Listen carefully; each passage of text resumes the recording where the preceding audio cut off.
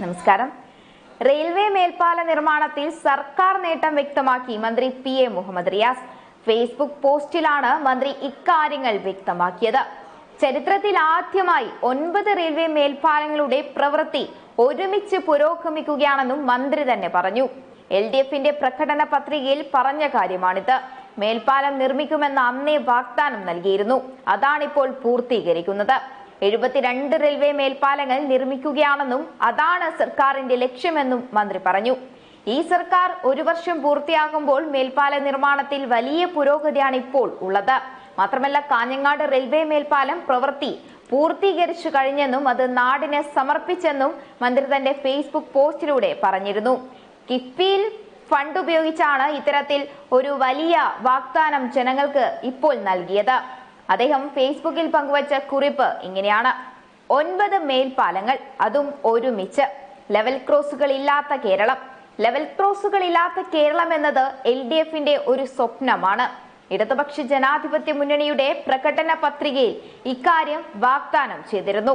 എഴുപത്തിരണ്ട് റെയിൽവേ മേൽപ്പാലങ്ങൾ നിർമ്മിക്കുകയായിരുന്നു ആദ്യ ലക്ഷ്യം. ഈ സർക്കാർ ഒരു വർഷം പൂർത്തീകരിക്കുകയാണ്. വലിയ പുരോഗതിയാണ് ഈ ഒരു വർഷത്തിൽ ഉണ്ടായത്. കാഞ്ഞങ്ങാട് റെയിൽവേ മേൽപ്പാലം പ്രവൃത്തി പൂർത്തീകരിച്ച് നാടിന് സമർപ്പിച്ചു. ചരിത്രത്തിൽ ആദ്യമാണിത്. ഒൻപത് റെയിൽവേ മേൽപ്പാലങ്ങളുടെ പ്രവൃത്തി ഒരുമിച്ച് പുരോഗമിക്കുന്നു. സ്റ്റീൽ കോൺക്രീറ്റ് കോമ്പോസിറ്റ് സ്ട്രക്ചറിലാണ് ഇവ നിർമ്മിക്കുന്നത്. കേരളത്തിൽ ആദ്യമായാണ് ഈ രീതിയിൽ പാലം നിർമ്മിക്കുന്നത്. കിഫ്ബി ഫണ്ട് ഉപയോഗിച്ച് അറുപത്തിയാറ് റെയിൽവേ മേൽപ്പാലങ്ങളാണ് ഇതുവരെ നിർമ്മിക്കാൻ ഉദ്ദേശിച്ചത്. കൊടുവള്ളി തനൂർ തെയ്യാല അകത്തേത്തറ ചിറങ്ങര ഗുരുവായൂർ മാളിയേക്കൽ എന്നിവിടങ്ങളിൽ പൈലിംഗ് പൂർത്തിയായിട്ടുണ്ട്. വാടാനം കുറിശി ഇരവിപുരം ചിറയൻകീഴ് എന്നിവിടങ്ങളിൽ പൈലിംഗ് അവസാന ഘട്ടത്തിലാണ്. ചേളാരി ചെട്ടിപ്പടി മേൽപ്പാലത്തിന്റെ പുതുക്കിയ അലൈൻമെന്റിന് റെയിൽവേയുടെ അനുമതി ലഭിക്കാനുമുണ്ട്. ബജറ്റ് ഫണ്ട് ഉപയോഗിച്ച് നിർമ്മിക്കുന്ന ആറ് മേൽപ്പാലങ്ങളാണ് നിലവിലുള്ളത്. ഇതിൽ ഫറോക്ക് റെയിൽവേ മേൽപ്പാലത്തിന്റെ പ്രവൃത്തി ആരംഭിച്ചു. കാരിത്താസ് മുളന്തുരുത്തി മേൽപ്പാലങ്ങളുടെ ടെൻഡർ ക്ഷണിച്ചിട്ടുണ്ട്. ബാക്കിയുള്ളവ റെയിൽവേ പാലങ്ങളുടെ നടപടിക്രമങ്ങൾ പുരോഗമിക്കുന്നുണ്ട്. ഭൂമി ഏറ്റെടുക്കൽ റെയിൽവേയുടെ അംഗീകാരം ലഭ്യമാക്കൽ അലൈൻമെന്റ് നിശ്ചയിക്കൽ എന്നിങ്ങനെയുള്ള പ്രവർത്തനങ്ങളാണ് നടന്നുവരുന്നത്.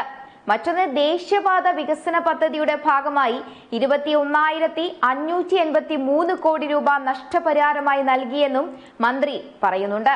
സംസ്ഥാനത്ത് സമീപകാലത്ത് ഏറ്റവും കൂടുതൽ ഭൂമി ഏറ്റെടുക്കൽ നടന്ന പദ്ധതിയാണ് ദേശീയപാത വികസനം. ആയിരത്തി എഴുപത്തി എട്ട് പോയിന്റ് രണ്ട് രണ്ട് ഹെക്ടർ ഭൂമിയാണ് പദ്ധതിക്കായി ഏറ്റെടുത്തത്. അൻപത്തി ഒന്നായിരത്തി എഴുന്നൂറ്റി എൺപത് പേർക്ക് നഷ്ടപരിഹാരം ലഭിച്ചതായും മന്ത്രി പറഞ്ഞു.